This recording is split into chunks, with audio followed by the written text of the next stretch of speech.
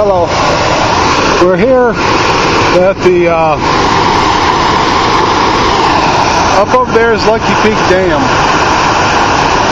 Every year they let out the water to let the water or the snow melt come back in the dam.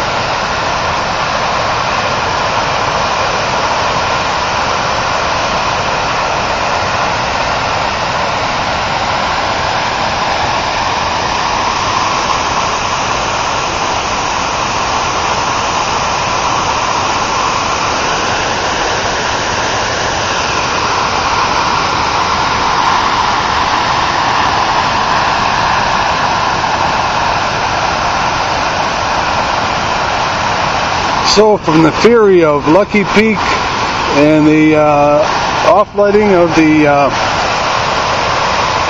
pressure from the dam up there, we're out.